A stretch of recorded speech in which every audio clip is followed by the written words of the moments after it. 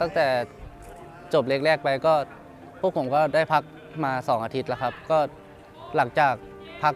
ปีใหม่มา พวกผมก็ได้กลับมาฝึกซ้อมอาทิตย์กว่าแล้ว ในความฟิตของนักเตะ แต่ละคนในตอนนี้ก็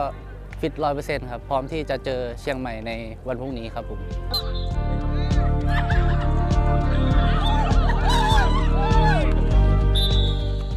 ในการเล่นในเกมเยือนก็ยากเสมอครับ ที่จะมาเจอเชียงใหม่ในวันพรุ่งนี้ ผมก็ทีมพวกเราก็ตั้งเป้าที่จะมาเอาชนะเชียงใหม่ในบ้าน ที่จะเอาแต้มกลับบ้านของเราให้ได้ครับขอเชิญชวนแฟนบอลสมุทรปราการซิตี้นะครับ ถ้าใครสามารถมาชมที่สนาม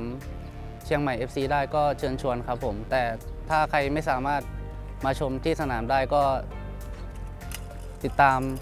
ดูทางไลฟ์สดทาง Facebook สมุทรปราการซิตี้ครับผม พวกพวกเราจะทำให้เต็มที่ครับ ขอบคุณครับ